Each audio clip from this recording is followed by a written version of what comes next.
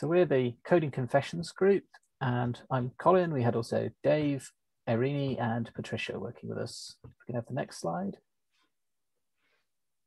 So the problem we were trying to tackle is that everyone who develops software at some point has written some software that's badly written, it cuts corners, and it makes mistakes that might actually lead to quite serious implications for people doing research of the software. And that many people don't want to talk about this because imposter syndrome makes them feel less worthy about it. Okay, the next slide. So we want to try and change this culture by um, creating a culture where people feel happy to disclose their mistakes and that we want to try and document those mistakes so the entire community can benefit from the lessons that we have learned and people have disclosed. So uh, we created a website uh, called and Confessions, um, and this is what it looks like. Uh, this is a way to summarize um, all the different ways that people can do coding confessions. So one way is to just write a blog post uh, as exemplified here. People can also do this anonymously. So we have already set up a Google form um, where people can answer these kind of questions and we can um, share uh, that blog post on people's behalf. Uh, there's also a possibility to run um, a coding confessions event at a uh, yeah, at a conference. So there's different options to do that. Uh, the most basic is just have a notice board with post-its where people can anonymously share their coding sins, um, or you can have a lightning talks round where people uh, talk about their uh, coding errors, or even have a confessions booth with uh, someone who confesses and someone who listens and hopefully absolves the person of their coding sense.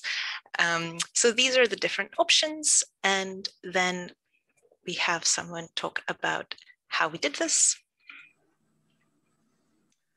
Thanks very much. So the code that we've written has been published under Creative Commons license. It's publicly available on GitHub and the link is here. Perhaps someone uh, from the team can post it in the chat.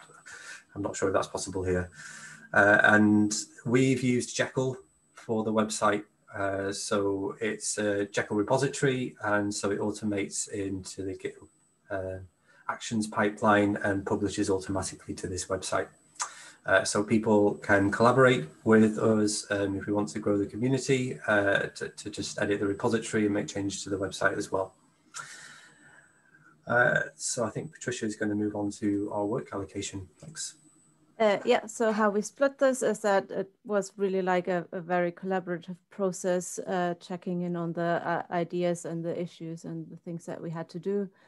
Um, Colin provided the, the main website text uh, because he suggested the topic and most of the information when we kicked off was in his head that he wrote down. Uh, Dave did all the magic behind the beautiful looking web page and um, actually uh, was our first volunteer. Um, she had to confess something that she wrote up in, into our first blog post and then based on that created the Google form.